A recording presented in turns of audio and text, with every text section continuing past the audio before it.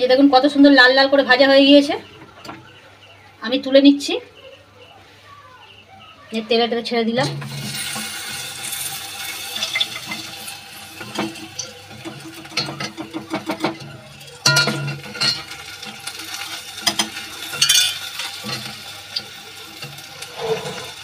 Hello guys welcome back to my channel ice ব্লকে আপনাদের স্বাগত। আমি চলে এলাম আপনাদের কাছে আবার নতুন একটা রেসিপি নিয়ে। আজকে একটা মুচমুচে বানাবো। জিলাপি, গরম গরম জিলাপি আজকে বানাবো। এই যে দেখুন, আমি জিলাপির জন্য যেগুলো নিয়েছি, সেগুলো আমি দেখিয়ে দিচ্ছি। ময়দা নিয়ে নিয়েছি আমি এক বাটি। তেল নিয়ে নিয়েছি সাদা তেল। আর এখানে আমি শিরা বানাবার জন্য চিনি নিয়ে নিয়েছি। আর লেবু আছে, আর ইনো আছে। আর এইটা আমি, আপনারা চাইলে বোতলে ঢুকিয়ে ছোট করে ফুটো করে করতে পারেন। আমি এই প্লাস্টিকটা নিয়ে নিয়েছি। ওখানে ছোট ছিদ্র করব এখান দিয়ে। করে আমি এখান দিয়ে জিলাপিটা বানাবো। আপনাদের দেখাবো কীভাবে বানাতে হয়।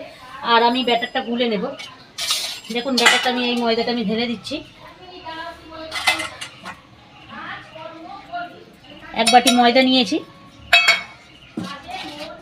এর মধ্যে আমি একটু খাবার সোডা দিয়ে দিচ্ছি। এই যে হালকা স্বাদ আসার জন্যে আমি সামথিং নুন দিচ্ছি, বেশি না, সামথিং দেবো। তাদের টেস্টটা খুব সুন্দর হবে। ওই জন্য আমি হালকা করে নুনটা দিয়ে দিলাম। দিয়ে আমি এটা ভালো করে এটা মিশিয়ে নেব। নিয়ে আমি হালকা হালকা করে জল দিয়ে ব্যাটারটা খুব পাতলা করব না, গাঢ় গাঢ়ই থাকবে। হালকা হালকা করে জল দেবো।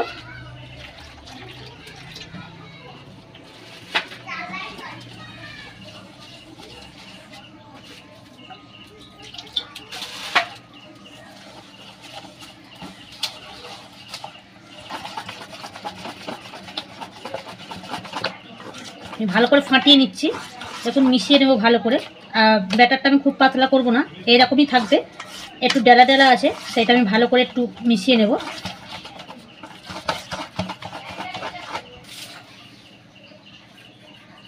দেখো, লেবুটা আমি কেটে নিচ্ছি। লেবুটা আমি রসের সঙ্গে ইউজ করব। দেখুন, আমার কত সুন্দর গোলা হয়ে গিয়েছে। এবার আমি ইনোটা দিয়ে দেবো এর মধ্যে। এই যে ইনুটা দিচ্ছি, আমি যে জিলাপিটা বানাবো, ওর ভিতরে বেশ হালকা হালকা হবে। কাটতেই পারছি না। জিলাপির ভেতরটা বেশ ফাঁপা ফাঁপা থাকবে ইনুটা দিলে, আর রসটা খুব সুন্দর ঢুকবে ওই জন্য ইনোটা ব্যবহার করা। রসটা খুব সুন্দর ঢুকবে আমি সব ইনোটা দিয়ে দিলাম।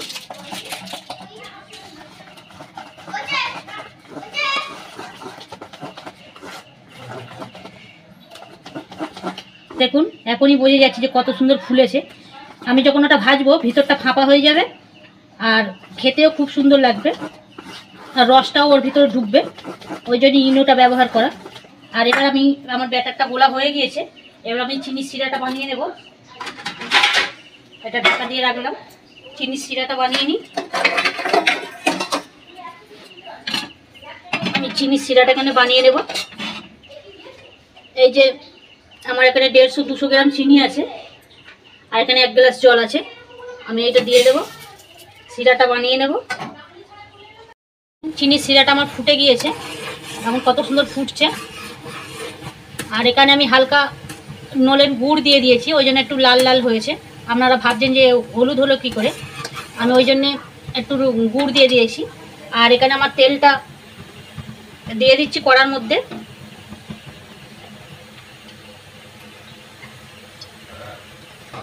এই যে আমার এটা ফুটে গিয়েছে, আর চিনি শিরানো আমার বানানো হয়ে গিয়েছে। এখানে আমি এটা গ্যাসটা নিভিয়ে দেবো। গ্যাসটা আস্তে দিয়ে দিলাম। দিয়ে আমি এই যে লেবুটা আছে, চিপে দিয়ে দিলাম রসটা। আর একটু দিলাম। হালকা হালকা টক টক খেতে লাগবে, খুব সুন্দর লাগবে খেতে। খুব সুন্দর টেস্টি হবে, ওই জন্য আমি লেবুটা দিলাম ইউজ করলাম। আপনারা দিয়ে দেখবেন। আর আমার এই রেসিপিটা কেমন লাগল, আপনারা কমেন্টে লিখে পাঠাবেন। আমি চেষ্টা করব। আরও নতুন নতুন রেসিপি নিয়ে আপনাদের কাছে চলে আসব। এবার দেখুন, আমি এই যে প্লাস্টিকটা নিয়েছি।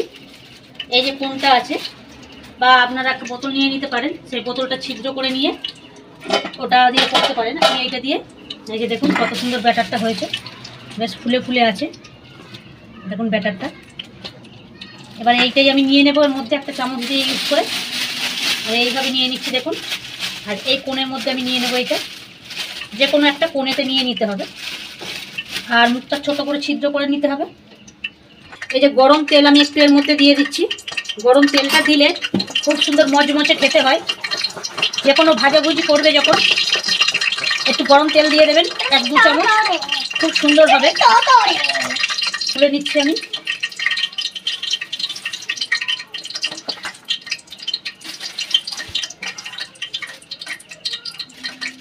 কি করবে? এটা বানাবো গরম গরম জিলাপি। এই যে মুখটা আমি এবারে একটা গাটার দিয়ে বেঁধে নেব। একটা গাটার নিয়ে আসতেছে না? এই যে দেখুন কত সুন্দর হয়েছে। এবার এই মুখটা আমি ছোট্ট করে একটা কেটে নেব। বেশি বড় করব না। বেশি বড় করলে জিলাপি তাহলে খুব মোটা হয়ে যাবে। আমি যেটা বড় করব না। এই যে দেখুন এবার গাটার দিয়ে আমি এটা আটকে নিচ্ছি। গাটা দিয়ে আটকে নিলে চিপতে সুবিধা হবে। না হলে ওপর দিয়ে বেরিয়ে আসবে। এবার আমি কাঁচি দিয়ে এটা ছোট্ট করে কেটে নেব। মামা আমার এটা আমার গরম হয়ে গেছে একটু আস্তে দিয়ে দিলাম। না। দেখুন হালকা করে আমি কেটে নেব করে। দাও আমি কাটি। না না দাও না দাও না। এই যে দেখুন কীভাবে সরু হয়ে পড়ছে। আমি সরু সরু যদি আপনারা জিলিপি বানাতে চান তো সরু করেই করবেন। আর ভাবছেন যে মোটা করে করব তাহলে মোটা করে করবেন। এবার দেখুন আমি বানাচ্ছি জিলাপিটা।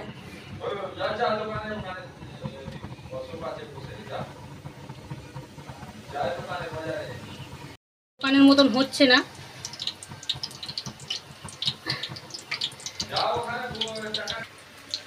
এই যে দেখুন কত সুন্দর লাগছে জিলাপিগুলো। দোকানের মতন হয়তো অতটা সুন্দর হয়নি কিন্তু যতটাখানি হয়েছে খুবই সুন্দর হয়েছে। দেখুন কত সুন্দর লাগছে। তো চিবলে হবে দাও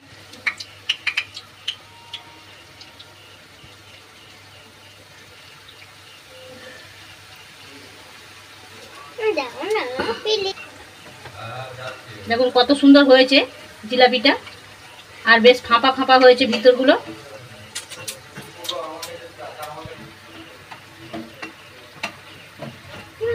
হুম।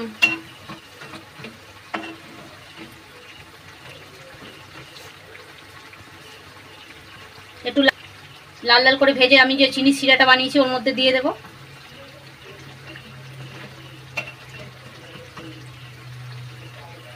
এগুলো হয়ে গিয়েছে, এবার আমি তুলে নেব। একটা একটা করে।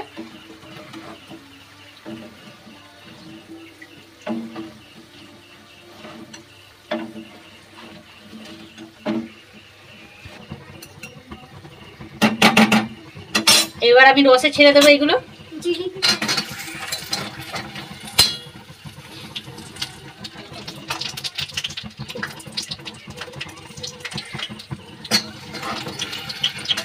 রসে দিয়ে আমি বেশিক্ষণ রাখব না তুলে নেব। রসটা ঢুকে গেলেই।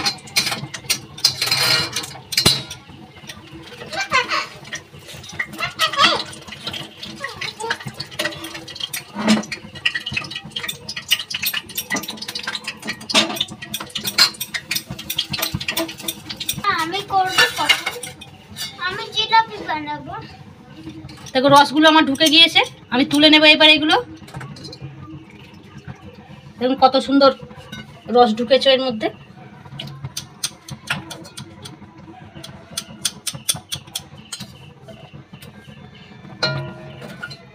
দেখুন কত সুন্দর হয়েছে। এবার পরেরগুলো আমি এইভাবে বানিয়ে নেব। দেখুন, দেখতে থাকুন।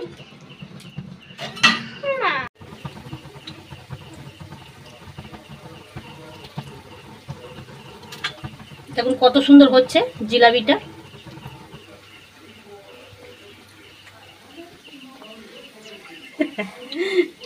আমার ছেলে বলছে যে, মা, আমি বানাবো।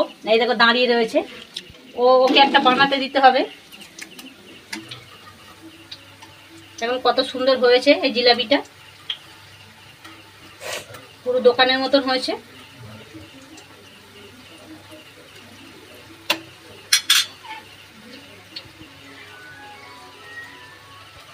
আপনারা যখন ছাড়বেন তেলেতে, তেলটা হালকা গরম, ঠান্ডাতে ছাড়বেন, তাহলে খুব সুন্দর গোল হবে জিলাপিটা।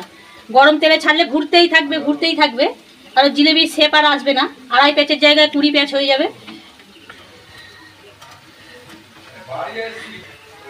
জিলাপিগুলো বেশ, আমি উল্টে পাল্টে লাল লাল করে দেবো। আর লাল লাল করলে খুব সুন্দর খেতে লাগবে, বেশ মচমচ করবে। দেখুন, এটা দেখুন কত পেঁয়াজ হয়েছে, দেখুন।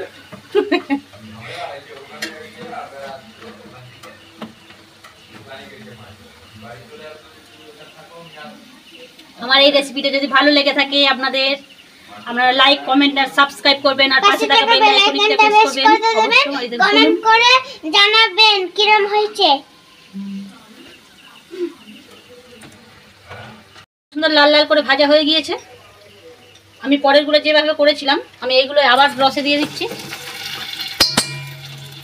আর এগুলো একটু বাকি আছে ততক্ষণ আমি এটা রসে দিয়ে দিলাম। রসটা টেনে নিলেই তুলে নেব বেশিক্ষণ রাখা যাবে না। আর রসটা ঝপ করেই টেনে নেবে। আমি যেহেতু ইনো ব্যবহার করেছি, ইনোটা দিলে ভিতরটা বললাম যে ফাঁপা ফাঁপা হয়। রসটা ঝপ করে চলে যায় ভিতরে। এই যে দেখুন, আমি তুলে নিচ্ছি।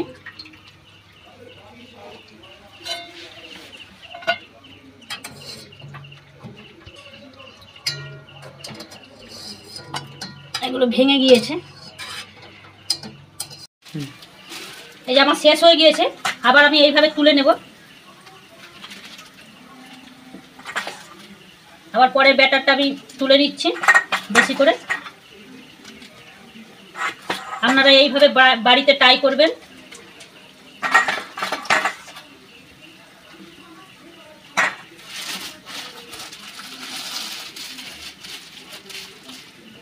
এখন এই পাতে পড়তে শুরু করে দিয়েছে।